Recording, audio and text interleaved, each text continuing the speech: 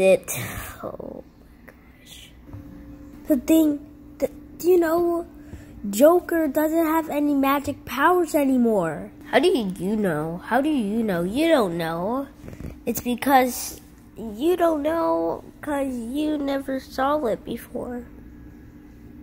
Are you lying? Or actually saying the truth? Because if you're lying again, then that's not gonna be good. So you better start telling, telling the truth. I am telling the truth. But do you think I'm lying? He doesn't have any powers anymore. Fine, then let me search it up. Does Joker have powers anymore? Yes, he does not have powers anymore.